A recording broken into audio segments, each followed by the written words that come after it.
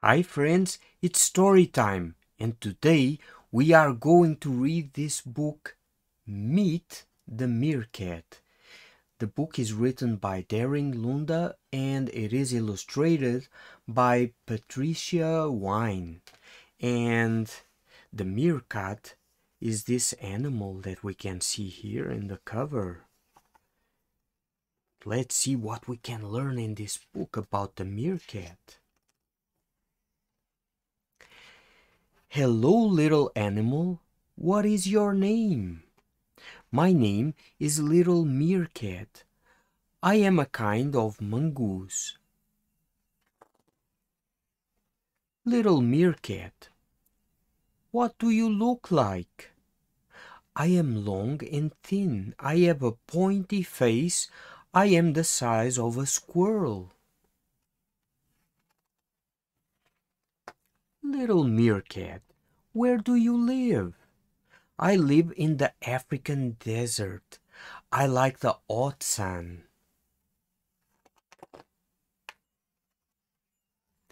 Little meerkat, do you live alone? I live with my brothers and sisters. We all live in the same den. Little meerkat, what do you do all day? In the morning I warm up in the sun. Then I run with my brothers and sisters to find food. Little meerkat, what do you eat? I eat insects, spiders, and scorpions. I smell them with my nose. Then I dig them up with my feet. And here is a scorpion. Little meerkat, do you make any sounds? I make funny sounds all day long. Cluck, murmur, murmur, peep. I say quack, quack when I see something dangerous. Little meerkat, what do you fear? I am afraid of eagles and jackals. These animals try to eat me. I take turns with my brothers and sisters to, to watch for danger. Little meerkat, when do you sleep? I return to my den just before dark.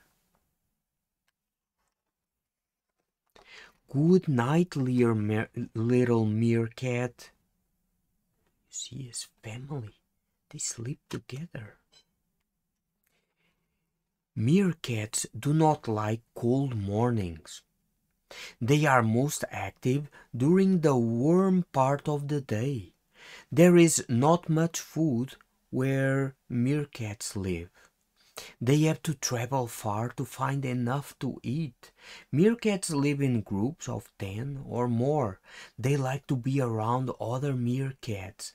They care for other meerkats who are sick or hurt. They sometimes even hug each other.